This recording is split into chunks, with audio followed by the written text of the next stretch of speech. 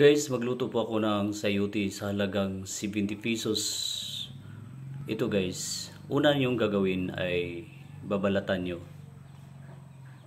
Then pagkatapos, islicein nyo ng pino. Ito po ang recipe na gagawin ko dito sa video ito. At sana po guys, magustuhan ninyo itong video ko.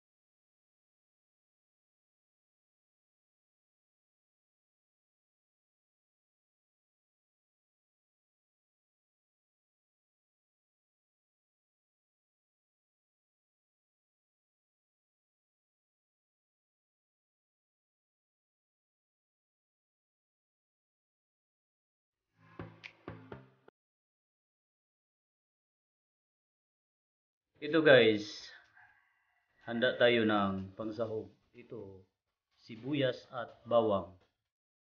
Ito yung pampasarap ng niluto kong sayuti. Ito, babalatan muna natin.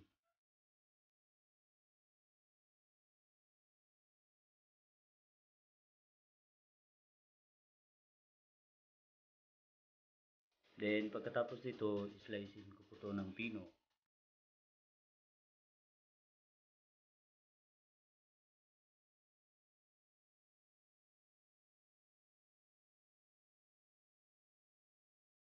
Hindi masyadong masyadong pi.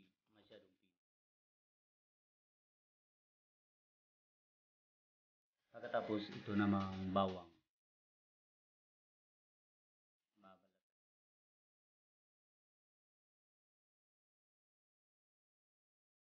Pisahin yung bawang.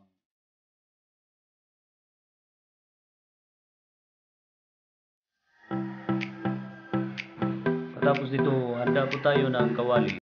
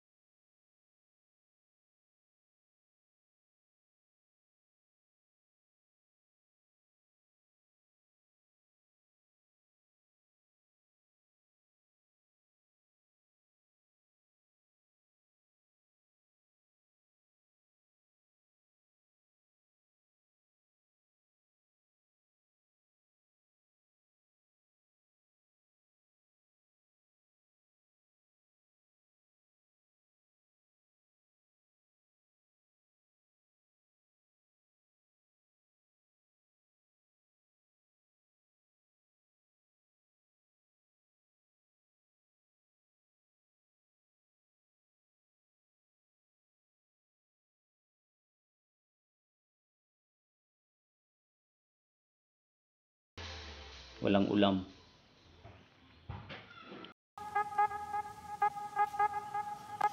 Ito, masarap na sa amin to. Itong sayuti, lagyan ninyo lang ng dalawang sardinas. Okay na yun. Mukhang mabusog na tayo nito. Ito guys, tikman ko na itong luto ko. Niluluto kong sayuti.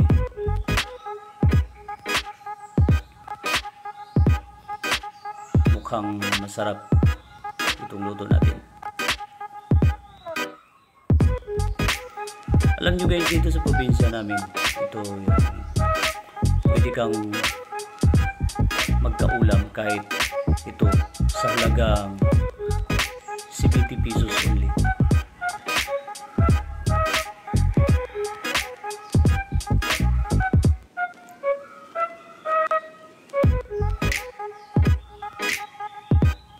Yan, nakahanda na yun. Titikman ko na to.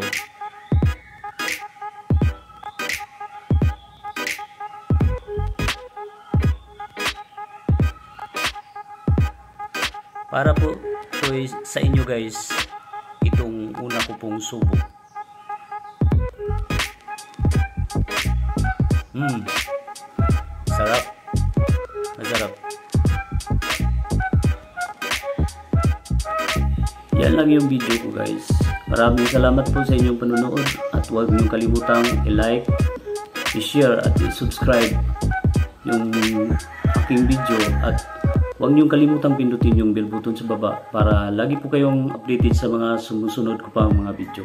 Guys, maraming salamat po sa inyong panunood and bye bye and God bless you to all po.